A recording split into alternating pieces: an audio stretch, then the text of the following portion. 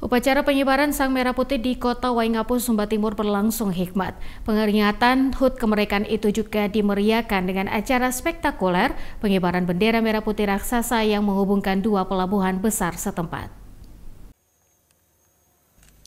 Upacara pengibaran bendera dalam rangka HUT kemerdekaan RI di Sumba Timur berlangsung hikmat. Bupati Sumba Timur menjadi inspektur upacara dengan mengenakan busana adat khas Sumba Timur berbahan kain tenun ikat jenis kawuru.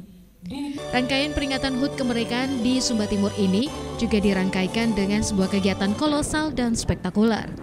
Bendera merah putih raksasa sepanjang 340 meter dan lebar 1 meter 30 cm dikibarkan di Teluk Nangamesi. Bendera merah putih raksasa itu menghubungkan dua pelabuhan di kota Waingapu, yakni Pelabuhan Rakyat dan Pelabuhan Nusantara.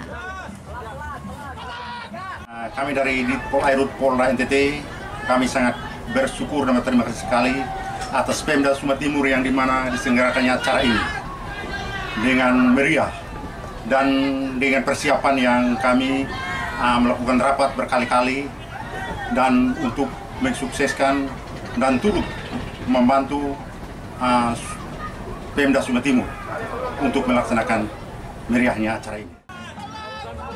Pengibaran Sang Merah Putih raksasa itu yang menghubungkan dua pelabuhan terbesar di Pulau Sumba itu menjadi simbol pemersatu ragam perbedaan. Saya pikir kan uh, laut memisahkan daratan sini dengan pelabuhan rakyat dan pelabuhan Nusantara. Dalam posisi itu kan panjangnya 310 meter.